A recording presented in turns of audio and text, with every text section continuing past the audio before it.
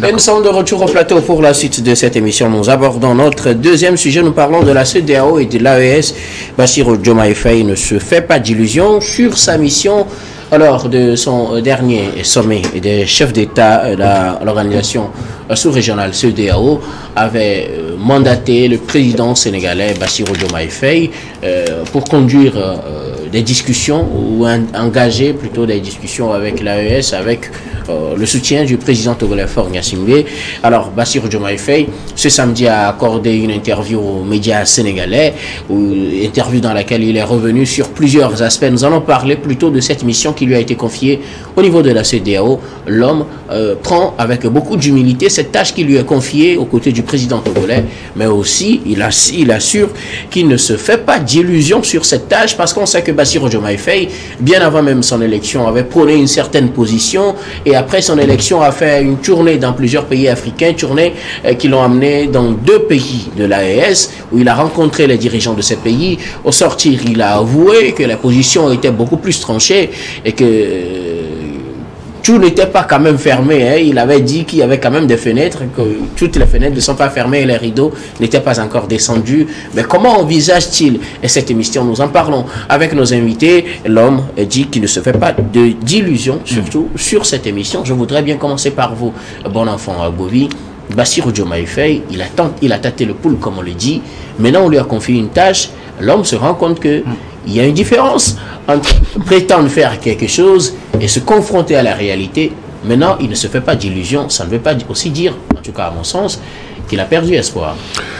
Oui, euh, il n'a pas perdu espoir. C'est que euh, je, me réjouis euh, du fait que lui-même s'est rendu compte que ce que lui-même il avait commencé lui-même, ça ça ne peut pas lui permettre d'aller. Euh, Jumai Faye, euh, lors de, bon, après être élu, euh, a fait, comme tu l'avais dit tout à l'heure, des visites dans deux pays, à Bamako et à Ouaga. Mm. Je crois c'est le 3 mai. Au Burkina. le 3 mai. Et il avait déclaré que ce n'était pas, il n'avait pas été mandaté par la CDAO avant de faire. C'était une, une personnelle. Voilà, donc personnel. Et, mais euh, au cours de, des discussions entre euh, les, les, présidents burkinabés et, euh, euh comme l'appelle-t-on, maliens, et, il, était question de frôler un peu cette situation de leur sortie de, de, de l'organisation de la CDAO. Maintenant que je ne voudrais pas dire que c'était un affolement, parce que il avait bien dit que ce n'était pas la CDAO qu'il avait mandaté. Même lui-même, il veut, il veut commencer quelque chose, voici, il pouvait euh, arriver à porter sa pierre pour la, le truc là. Maintenant que euh, au 7, euh, je crois 7 juillet passé, qu'il a été mandaté maintenant pour entamer la discussion avec les gens que vous appelez la jointe, alors que dans leur pays, ils les appellent présidents. Merci beaucoup pour la précision. Nous avons parlé des présidents de l'AES. Des présidents de, de, de l'AES, ils voient maintenant que euh, la tâche lui est confiée. Et maintenant, euh, surtout qu'il va co-gérer avec euh, le doyen euh, qui, ce n'est pas sa première expérience. Aujourd'hui, tout le monde sait que la diplomatie togolaise est active. il va co-gérer avec le président de la République. On va voir ce que ça. Lui-même, il a déclaré quand même que, bon, il va quand même dans un avenir proche euh, s'approcher de son, voilà, rencontrer son, son doyen pour, euh, pour... Moi, ce que je voudrais dire, j'apprécie la jeunesse de, de Mais je crois que, euh, étant arrivé au pouvoir tout jeune, il doit encore faire beaucoup attention pour circonscrire tous les problèmes avant de se mettre vraiment euh, en route pour, euh, euh, comme appelle cette négociation, et qu'on lui a confié, que la CDAO lui a confié. Non, vous savez, il y a des dossiers, hein, il y a des dossiers qu'il doit vraiment maîtriser avant de, de, de, pouvoir aller plus vite. Vous comprenez?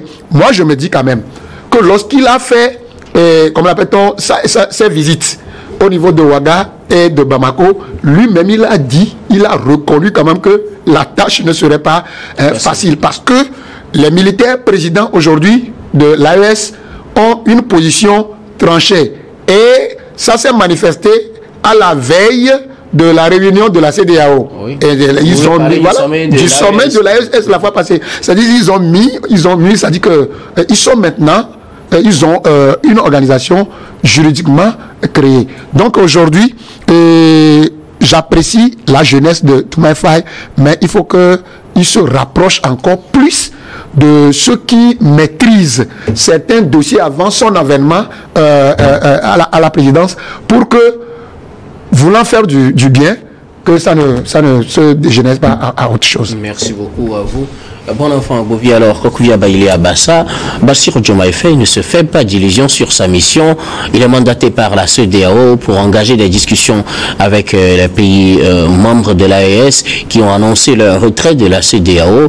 Il sera dans cette mission accompagné par le président togolais Fort Nyassimbe. Heureusement pour lui qu'il il commence par descendre un peu, comme on appelle, le niveau de son ambition, puisqu'il avait déclaré au départ que lui, avant de, venir, avant de devenir président, il avait déclaré qu'il fera tout pour, euh, est Pour ramener, président, pour ramener les pays de, L'AES. N'était-ce pas là une promesse de campagne On est dans la fièvre des, élections. voilà, on, fait des, être- on, fait des, on fait des, des promesses Voilà. pour pouvoir avoir l'attention des, C'était un discours des gens. que les gens ont applaudi, mais euh, pas un grand applaudissement. Parce que les gens savaient que la tâche ne serait pas facile, mais il était très ambitieux. Et lors de son investiture, lors de son discours d'investiture, il avait évoqué encore ce sujet. Et à quelques moments, bon, nous l'avons vu euh, prendre son avion et descend à- à- dans certains pays, mais il a compté aussi euh, rendre Bamako visite, euh, oui, rendre visite euh, à ses, à ses homologues de, de- du Mali et du Burkina Faso. Je ne sais pas pourquoi il n'est pas allé au Niger, mais c'est son agenda qui détermine euh, vraiment ce qu'il est en train de faire. Aujourd'hui, bon, d'abord, dans ces deux pays, il a déclaré, je pense que c'est après discussion, qu'il sort pour déclarer qu'il n'a pas été mandaté par la CDAO. Là, ce sont des propos purement diplomatiques qu'il a, il a utilisé pour essayer de calmer l'ardeur. Parce qu'il a commencé, il a commencé par avoir des critiques vraiment sévères, par, au- même au sein de la population sénégalaise par rapport à ces propos disant que lui va ramener euh, ces, ces trois pays dans la, dans la CDAO. C'est une ambition que certains ont, jugé démesurée. Aujourd'hui, il dit qu'il vraiment, il, il mesure vraiment l'ampleur de ce, de ce dossier Et qu'il ne se fait pas d'illusions. et, et voilà, il ne se, il- bon, il ne se fait plus d'illusions, je peux dire. Il ne se fait pas d'illusions. Ça ne veut pas dire qu'il se faisait d'illusions avant. Quand on dit tu ne plus là, attention. Qu'il faisait d'illusions avant. Il se faisait d'illusions avant. Mais bon, je me réjouis quand même de- d'avoir reconnu vraiment que ce, cette tâche-là ne sera pas du tout facile et qu'il compte vraiment échanger avec euh, euh, son, son commissionnaire. Si je peux, je peux les appeler ainsi, notamment le président de la République Le doyen, le doyen, Oui, de le doyen. Qui, Il n'est aussi- pas vous votre doyen, il est votre président. notre président doyen. Oui, d'accord, oui, vas-y. qui euh, doit lui apporter vraiment doit lui prêter la main forte pour euh, vraiment euh, aller au bout de cette mission. Je me dis, Diomaye Faye lui-même il reconnaît qu'il n'était pas au pouvoir avant que les sanctions ne soient lancées contre les pays de l'AES. Ça c'est un atout et lui-même il le reconnaît, il a dit. Nous sommes parfaitement d'accord avec lui. Et son second, qui est euh, a été désigné aussi au même titre que lui, notamment le président de la République togolaise. Lui, c'est quelqu'un que les gens ont connu déjà très proche déjà les, de- des pays de l'AES, des présidents de l'AES. Il a été euh, il, a- il s'est impliqué dans beaucoup de choses qui ont, qui ont permis de, de calmer euh, des, des velléités qui se, euh, qui se couvaient envers certains pays de l'AES. Aujourd'hui, ces deux ont des bons points pour pouvoir approcher les, les, les, les dirigeants de l'AES. Qu'est-ce qui va se passer? Selon moi Très rapidement, ils peuvent être acceptés, ils seront accueillis, ils vont échanger, mais je ne pense pas que les gens de l'AES vont accepter revenir dans la CDAO. Ils avaient déclaré leur sortie de la CDAO en janvier 2024. Cela veut dire qu'après un an demi, en janvier 2025, automatiquement, ils ne sont plus membres de la CDAO. J'aimerais savoir, comment on appelle, avec ce, ce petit temps qui nous reste, les décisions peuvent permettre vraiment de, freiner euh, l'ambition de, des gens qui ont déjà créé une organisation juridiquement bien assis, notamment le, la Confédération de l'Alliance des États du Sahel, Mhm. qui, qui commence par prendre vraiment la forme Mhm. euh, officielle des organisations panafricaines, euh, des, des orga- des organisations régionales Mhm. en Afrique. Donc, mais il peut y avoir des négociations pour que l'Alliance reste vraiment euh, un partenaire privilégié de la CDAO. Je pense que c'est la piste qui peut être évoquée pour que les projets puissent continuer. En plus, il faut reconnaître que le Sénégal est vraiment motivé dans ce dossier parce que si ces pays-là quittent la CDAO totalement, Gambie et Sénégal sont déconnectés du territoire de la CDAO. Non, pas, pas forcément, parce que... Eh, attendez, Euh, attendez, ne comptez pas sur la Guinée. ok, d'accord. Ah, la ok, Guinée. parce qu'il fallait aborder cette non, précision. Puisque non, la- Guinée n'a pas annoncé qu'elle quitte la CEDEAO. Euh, euh, La Guinée n'a pas annoncé qu'elle quitte la CEDEAO. Donc géographiquement, euh, en tout cas, jusqu'à preuve de contraire... Vous-même, vous euh, savez. C'est pour cela, c'est pour cela que le monsieur Doumbouya est bien aménagé par la CDAO pour que la pour que euh, la Guinée aussi ne quitte pas la banque. Regardez tout ce qui se passe actuellement La en Guinée. probabilité est forte, hein. Mais vous- il faut voir la réaction de la CDAO qui est vraiment une, une réaction beaucoup plus euh, hein, complaisante par rapport euh, à la Guinée. Disons-nous les choses clairement. Quand, quand Doumbouya était venu au pouvoir, il avait aussi donné de l'échéance pour quitter le pouvoir. Mais il a dépassé largement ce temps. Mais aujourd'hui, il n'a pas, il y a Non, pas de normalement, c'est à la fin de cette année qu'il devait quitter, mais il dit que on ne pourra plus organiser les élections. Cependant, il y aura un référendum avant la fin de l'année. C'est vrai, la CDAO ne, ne tape plus du poing sur la table comme elle l'aurait fait il y a cela Ah. quelques mois ou quelques années. Voilà. Donc, s'il faut vraiment aller dans les, dans les normes des choses, si les gens du pays, les pays de l'AES quittent le, le, le, le- la CDAO, ce serait difficile vraiment, euh, comme on appelle à- au Sénégal, de, de rester connecté totalement à la CDAO. Vous savez, les échanges entre le Sénégal et les pays de l'AES sont tellement énormes. Que leur Surtout avec le Mali. Surtout avec le Mali. Que leur départ va créer vraiment un vide dans l'économie du Sénégal et dans plusieurs pays de, de, de la CDAO. Mais le Sénégal va peser beaucoup, va, va beaucoup souffrir plus que les autres. Alors, euh, peut-être c'est pour, selon vous, ce qui explique hein, cette implication Ah oui. à fond euh, du président Bassirou Diomaye Faye. Ah oui. Il faut préciser aussi que dans la mission de la CEDEAO, elle n'a pas précisé ou bien elle n'a pas dit qu'il faut forcément faire pour que les, les pays de l'AES reviennent. On leur a dit d'aller engager les discussions. Maintenant, je ne sais pas si c'est à eux de mettre leur contenu dans la, dans la discussion. On, on ne saurait le, le dire pour le moment. Je, Euh, je- je pense que les gens doivent beaucoup plus calculer les choses, minim, comme on appelle, d'une façon millimétrée et aller beaucoup plus dans les actions bilatérales.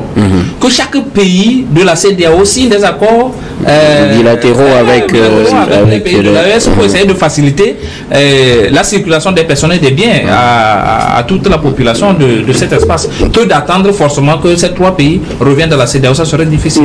Gabin Djao, Bassirou Diomaye hein, euh, ne se fait pas d'illusions par rapport à sa mission, mission qui lui a été confiée par la conférence des chefs d'État et de gouvernement de la communauté économique des États de l'Afrique de l'Ouest, qui lors de sa réunion euh, du dimanche 7 juillet dernier avait mandaté le président sénégalais et le président togolais pour engager des discussions avec les trois pays dissidents. Je veux parler du Mali, du Burkina et du Niger, membres de l'AES. Oui, euh, euh, avant de, de revenir à ta question, euh, j'aimerais rassurer Abaye hein, que euh, vraiment l'AES c'est une organisation assez sérieuse qui ne va pas accepter euh, euh, Doumbouya qui est l'enfant chéri de la CEDEAO hein, dans, dans l'organisation parce que le combat que l'AES est en train de mener, c'est un combat très différent de ce que Doumbouya est en train de faire euh, euh, en Guinée euh, Conakry là-bas. Donc pour vous, il n'y a, pas de risque que la Guinée se retrouve dans l'AES selon vous? Et donc, il n'y a pas de risque aussi que le, Sénégal et la Gambie ne- se, se ne retrouvent pas- coupés. Je ne suis pas sûr que l'AES va accepter de, de recevoir la, la Guinée. Non, ça- la ça- Guinée ça- Conakry. ça- Bon, on va pas faire, on va pas faire de Ils n'ont pas spéculation. fermé- ils n'ont pas fermé On va la- pas faire de ils n'ont pas fermé spéculation. la- On va aller dans le fait de l'analyse, s'il vous plaît. En politique, on ne dit jamais jamais. Oui, ben, mais, on moment, va pas faire de même pas spéculation. possible. Pour le On va, va analyser les faits qui sont là. Je, Euh, peux faire cela. Et vous savez, euh, aujourd'hui, euh, est en train de se rendre compte de, la mission qui lui est confiée et se dit véritablement que c'est assez difficile.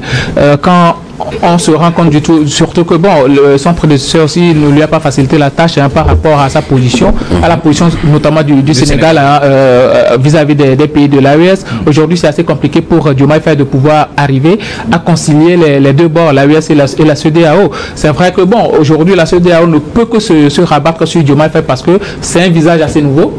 De, de, de, de, la CEDEAO, c'est quelqu'un qui ne connaît même qui ne connaît pas la crise et qui n'a pas eu un euh, parti pris hein, dans, dans, les, dans les, les, sanctions que la CEDEAO avait déjà fait, dans les débats que la CEDEAO, la CEDEAO avait déjà fait par rapport euh, au pays de, de l'AES. Donc aujourd'hui, euh, on peut dire que le, le Diomaye Faye, lui, hein, est le chef de l'État togolais qui a, et qui a été assez conciliant par rapport au pays de l'AES, sont les deux personnes assez qui peuvent apporter hein, euh, mm. un peu d'attente euh, entre l'AES et, et, et, la CEDEAO. Je pense que la CEDEAO a bien fait ce choix-là euh, en choisissant les, les, les, deux, les, deux, messieurs. Maintenant, par rapport aux missions qui, qui, qui sont confiées aux deux présidents, moi, je, je, me pose la question de savoir si la CEDEAO demande à ce que les, trois pays-là reviennent au sein de, de la, de, de, de la CEDEAO, parce que là, c'est, ce sera assez compliqué, puisque... En tout cas, il n'a pas dit cela. Hein. Oui, il n'a pas si dit au meilleur des cas, il décide de revenir, je pense que la CEDEAO sera preneuse. Je, je suis en train de faire une lecture par rapport à ce que Diomaye Faye lui a dit. Oui. Parce que le, le, fait de dire que bon, c ce sera une mission assez compliquée, ça veut dire que ramener ces, les, les, trois pays au sein de la CEDEAO, ça va être une mission assez compliquée. Ça, c'est ma façon même, même discuter avec eux, même discuter voilà. avec eux pour trouver des accords, même après leur départ, n'est pas une mission facile, hein, j'imagine. Oui, bon, ce, ce n'est pas une mission facile, mais je pense que Diomaye Faye a euh, une entente avec ces, avec ces trois présidents. Mm vous, vous, voyez que bon, euh, déjà avec la, la discussion avec euh, Assimi Goïta, c'était fluide. La discussion avec euh, le, le, le, président Ibrahim Traoré, c'était assez fluide. Bon, sauf que bon, il n'a pas été avec le, le président Tiani. Mm -hmm. Mais je pense que déjà discuter avec Goïta et ensuite avec Ibrahim Traoré, c'est au, même moment discuter avec Abraham, Abouraman Tiani. Donc pour moi, la, la, meilleure des choses à faire aujourd'hui, c'est que la CEDEAO se rende compte que véritablement ces trois pays-là ont déjà quitté la CEDEAO. Et ce qu'il faut faire aujourd'hui, c'est de penser Euh, aux conditions de départ par rapport au, fait que bon il y a des sièges des, des organisations bien des commissions de la CEDEAO dans ces pays là euh, il y a des, fonctionnaires hein, qui, qui, qui, sont des, des, comment on dit des, patriotes de, de, ces pays là qui sont des citoyens du Mali du Burkina et, de, et, du, et, du, Niger. Donc on va réorganiser tout ça. Je pense que c'est ce qu'il faut c'est ce qu'il faut chercher à savoir aujourd'hui. Sinon demander à ce que ces pays-là reviennent au sein de la CEDEAO, ce sera impossible. C'est une mission impossible pour, pour Diomaye Faye. Mais il faut dire que la CEDEAO a véritablement compliqué la mission de, à, ces, à, ces, deux messieurs aujourd'hui, le président Singbe et le président Diomaye Faye. Parce que déjà, quand vous êtes une organisation qui est spécialisée dans, euh, dans l'intégration de, l'intégration économique, économique, économique et ensuite permettre la libre circulation des personnes et des biens, et au même moment, vous êtes appelé à vous soutenir au sein de l'organisation de la CEDEAO, parce que c'est ça l'objectif des pères fondateurs de, de la CEDEAO et, et, et, le président Nassim Adema et Goon. Maintenant, vous-même au sein de cette CDAO-là, quand vos, vos, amis et vos, vos, vos, pays, vos amis frères et autres là ont des problèmes, les pays frères plutôt on dit, les mm -hmm. pays frères et amis on dit, oui. quand ils ont des problèmes, au lieu de les aider, mais vous, vous ne dites absolument rien, mais vous attendez à ce que bon, euh, il y ait un coup d'État là-bas, que vous, vous, vous, cherchez à mobiliser des gens pour aller, les, pour aller militairement les, dé, les, déloger. Je pense que depuis lors que la CDAO avait pris cette décision-là d'aller euh, de, de, déloger Tiani et de libérer euh, Bazoum, depuis lors, la CDAO a fait capoter toutes les chances de, de, de réintégration de ces trois pays-là au sein de, de la CDAO. Donc, tous les efforts que le président togolais avait déjà consentis, c'était tombé à l'eau. Oui. Aujourd'hui, ce qu'il faut chercher à faire, c'est de, de maintenir les relations bilatérales. Peut-être si la CEDEAO change, parce que les, ces pays de l'AES de, demandent beaucoup de choses à la CEDEAO. Premièrement, que la CEDEAO est une organisation téléguidée, que cette organisation n'arrive pas à prendre les décisions euh, par rapport à ses propres désirs, et que bon, et ce sont les, les, les pays occidentaux qui euh, financent l'organisation de la CEDEAO. Ce qui veut dire qu'aujourd'hui, ces pays-là, si ils ne voient pas que la CEDEAO est devenue indépendante, ils ne vont jamais accepter de revenir au sein de, la CEDEAO. Et lors de la dernière réunion de la CEDEAO, le président Diomaye Faye lui-même, il a eu à le dire, qu'aujourd'hui, il faut enlever de la CEDEAO tous ces clichés-là qui font que les gens disent que la CEDEAO est une organisation téléguidée, d'ailleurs. Donc, quand un président dit ça, ça veut dire qu'il y a quand même des tentacules au sein de la CEDEAO qui ne permettent pas à ces pays de l'AES de faire confiance à l'organisation de la CEDEAO. Et ensuite, la position que la CEDEAO avait pris lors de, de, de, la souffrance de ces pays-là dans, dans, la crise antiterroriste et autres là, ça ne permet pas réellement de dire que ceux-là ce sont mes amis. Parce qu'un ami, quand, il a des pro quand tu as des problèmes, un ami ça sauve, un ami ça aide, un ami ne cherche pas à te plomber beaucoup plus. Et on a constaté que la CDAO a cherché beaucoup plus à plomber ces pays-là que de, les aider. Donc, je pense que eh, il s'est rendu compte de, la lourdeur de la tâche qui lui est euh, confiée aujourd'hui et, il se dit que véritablement ce sera compliqué d'arriver à, faire revenir ces pays-là au sein de la, de. Mais je pense qu'il va plutôt chercher à discuter des conditions de départ et surtout à ce que les populations ne soient pas impactées par le, départ de, ces, trois pays de, la CEDEAO. Retour des pays de l'AES au sein de la CEDEAO, mission impossible donc Mission impossible. Mm -hmm. Mission impossible. Alors qu'est-ce qui est possible? Ce qui est possible d'aujourd'hui, c'est que bon, nous avons quand même des, des peuples qui se ressemblent, des peuples qui, euh, qui s'intègrent, hein, qui, qui, font des affaires un peu partout. Il y a des Burkinabés un peu partout, il y a des Maliens un peu partout, et nous avons aussi de, nos compatriotes dans ces pays-là. Donc ce qu'il faut faire aujourd'hui euh, entre l'AES et la CEDEAO, c'est de permettre à ce que le principe de la, de la libre circulation des personnes et des biens continue par euh, être euh, mise en œuvre dans la, dans la CEDEAO et que les populations ne soient pas touchées par les décisions de ces, euh, de ces deux camps-là. Mmh. Que doit faire Diomaye Faye Qu'est-ce qui est possible de faire? Retour impossible? Si oui, qu'est-ce qui est possible alors? Bon, ce n'est pas moi qui le dirais à sa place, parce que lui-même, quand il avait visité ces, ces, ces deux pères, il avait déjà dit que la tâche lui serait la tâche serait difficile, même quand il reconnaissait que ce n'est pas la CDAO qui l'avait mandaté. -hmm. Donc aujourd'hui, je me saurais le dire, c'est lui-même qui est allé au front. Alors, que doit-il faire? Qu'est-ce qui est possible qu'il fasse aujourd'hui? Non, ça dit que ça dépend. Vous, vous venez de dire tout à l'heure que la CDAO ne lui a pas dit d'aller faire ouais. revenir voilà, juste. gens, mais d'entamer les discussions. Discussion pour faire quoi? Si on doit discuter, c'est ça que peut-être Gabin et euh, euh, Abassa ont dit tout à l'heure, c'est de discuter des conditions de départ et voir que nous sommes quand même des pays frères. Moi, ça ne me, ça ne me gêne pas si la CDAO reste la CDAO et qu'il euh, y a encore une La organisation S. sous-régionale. Ça ne me gêne pas. Mm -hmm. En quoi ça gêne, euh, comme l'appelle-t-on, les, les, pays de CDAO Donc aujourd'hui, moi, je, je, sais que ce qui m'embête un peu, c'est Dites que, ce que vous pensez que, que la. CDAO a compliqué maintenant la tâche. Et la CDAO a compris à partir du 7 juillet que ce serait difficile pour les pays de l'AES de retourner. Et ce qui m'embête, c'est que euh, notre président de la République, Sosina Yassibé, ne va pas quand même à des négociations pour échouer. Ce serait, je crois, selon moi, mes analyses, et selon euh, la, position de ce président de l'AES, ce serait peut-être un premier échec et, et ça, ça ne va pas. Alors, qu'est-ce qu'il qu qu faut faire? Qu'est-ce qu'il faut faire Non, vous rentrez, vous allez à la négociation, vous, vous, vous, vous discutez des conditions. Aujourd'hui, il est bon. De, de quelles conditions? C'est en fait ça que je veux les savoir conditions rapidement. de départ, parce que okay. là où nous sommes maintenant, il y a beaucoup de Togolais, euh, comme on l'appelle au Burkina, il y a les Burkinabés, autres. Vous voyez, la fois passée, il y a des rumeurs qui disent que euh, maintenant, euh, on doit avoir, les, les pays de l'AES doivent avoir des visas et dans les autres pays, euh, comme l'appelle-t-on, de, de la CDAO. Là, si c'était une mauvaise ça, compréhension de l'information. En fait, c'était un discours à l'ouverture si du sommet. Ça doit être. Ce sera dans les deux, dans les deux sens. Les accords. Ouais. Donc aujourd'hui, il faut qu'on discute sérieusement de comment ces pays-là vont quitter et de comment la coopération va être réorganisée entre l'AES et la CDAO dans les jours à venir. Alors, euh, mission impossible, si on veut qu'ils reviennent, alors qu'est-ce qui serait possible? Eh ben, Vous savez, je, je, je, Diomaye Faye m'impressionne quelque part. Mm -hmm. Il a su nommer quelqu'un. Oui, euh, voilà, euh, le professeur Batili. Abdoulaye Batili, mm -hmm. qui était un, un, ministre de ses deux prédécesseurs, notamment euh, Macky Sall quelqu'un c'est difficile d'imaginer que Diomaye Faye à l'heure là qui vient de faire 100 ans va nommer quelqu'un mmh. qui avait 100 jours. 100 jours. 100 jours. Pas 100 ans.